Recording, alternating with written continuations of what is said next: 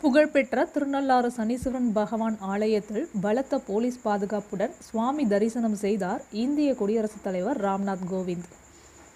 திருநள்ளாறு சனீஸ்வர பகவான் ஆலயத்தில் இந்திய குடியரசுத் தலைவர் ராம்நாத் கோவிந்த் சுவாமி தரிசனம் செய்ய காரைக்காலுக்கு இன்று வந்தார்.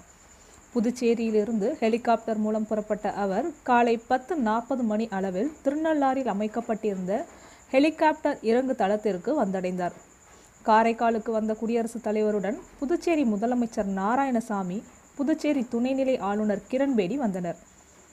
புதுச்சேரி சபாநாயகர் சிவக்கொழுந்து காரைக்கால் மாவட்ட ஆட்சியர் விக்ராந்த் ராஜா ஆகியோர் மலர்கொத்து கொடுத்து வரவேற்பு அளித்தனர்.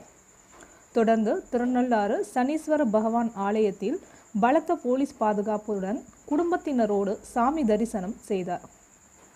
தர்பாரணேஸ்வரர் சன்னதி சனீஸ்வர பகவான் சன்னதி உள்ளிட்ட இடங்களுக்கு சென்று சாமி தரிசனம் செய்த அவர் பிரகாரம் சுற்றி வந்து வணங்கினார். அரை மணி நேரம் சாமி தரிசனத்திற்கு பிறகு ஹெலிகாப்டர் இறங்கு தளத்திற்கு வந்த குடியரசுத் தலைவர் அங்கிருந்து ஹெலிகாப்டரில் சென்னை புறப்பட்டு சென்றார். இந்திய குடியரசுத் தலைவர் வருகையொட்டி காரைக்கால் திருநள்ளாறு சுற்றுவட்டார பகுதிகளில் புதுச்சேரி தமிழக போலீசார் மட்டுமல்லாமல் துணை இராணுவத்தினரும் துப்பாக்கி ஏந்திய போலீஸ் பாதுகாப்பும் போடப்பட்டிருந்தது.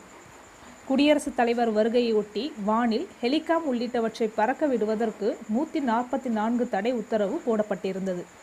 மாவட்டம் முழுவதும் உள்ள மதுக்கடைகள் அடைக்கப்பட்டிருந்தன. ஐந்து கிலோமீட்டர் தொலைவிற்கு வாகனங்கள் நிறுத்தப்பட்டு திருப்பி விடப்பட்டன. இதன் காரணமாக மக்கள் பெரும் அவதிக்கு ஆளானார்கள். குடியரசுத் தலைவர் வருகையொட்டி திருநள்ளாறு வழியாக செல்லக்கூடிய அனைத்து சாலைகளும் ஐந்து மணி நேரத்திற்கும் மேலாக மூடப்பட்டதால் கும்பகோணம் தஞ்சாவூர் திருவாரூர் ஆகிய ஊர்களுக்கு செல்ல வேண்டிய பொதுமக்கள் கடும் சிரமத்திற்கு ஆளானார்கள்.